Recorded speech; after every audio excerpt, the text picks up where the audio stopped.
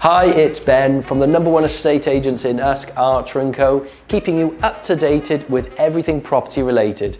Here we are with our winter market update 2023.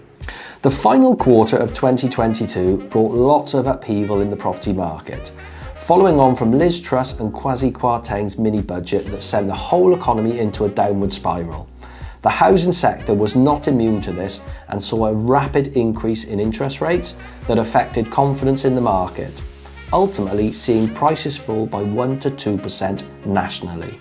However, house prices are bouncing back in the new year after two months of falls leading up to Christmas, the Rightmove HPI reveals. The latest house price index from Rightmove shows that asking prices rose 0.9% from December to January, which is the biggest increase since 2020. Yes, this is just asking prices rather than sold prices, but this is off the back of a 2.1% drop in December and a 1.1% drop in November. However, average asking prices are still 8,720 lower than their peak in October. It is the biggest New Year bounce since 2016, with the number of prospective buyers up 55% compared with the two weeks before Christmas. Looking at the tail end of 2022, there has been a constant three month narrative amongst the press that has said we will most certainly see an inevitable meltdown. There was simply no way that it wasn't going to happen. So much so that if you Google house price crash 2023 UK, 96 million results pop up. I remember a similar scenario in the early 2020s from the onset of the pandemic and from the resulting lockdowns. I also remember the same narrative in 2014, 2015 and 2016 as we considered whether to Brexit or not. And then again when a threat of a no-deal Brexit was hung over our heads in 2018 and 2019. I'm afraid that prophecies of the disintegration of the UK property values have been rather overdone again. Overall, the number of inquiries is down by a third compared to the buoyant market of this time last year, but is still up 4% compared to the same period in 2019.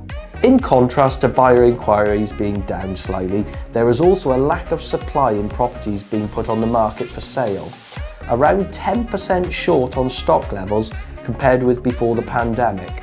This, coupled with buyer inquiries being down, makes it quite an even market, neither a seller's or a buyer's market. This is far different to the last two years where we have seen such a strong seller's market.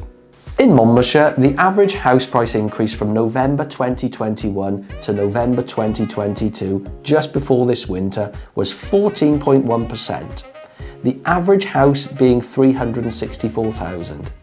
This is down 1.4% on the yearly increase from August 2021 to August 2022, highlighting the slight change in market conditions at the end of last year.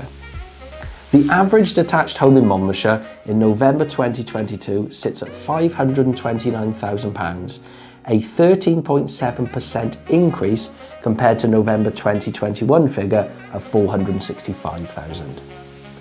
Latest research from Nationwide indicates falling longer term interest rates could lead to cheaper mortgages and improve the affordability position of potential buyers, especially if wages rise. While supply is low, a decrease is extremely unlikely, making it a level market for buyers and sellers, so it could be the perfect time to put your house on the market or look to buy one.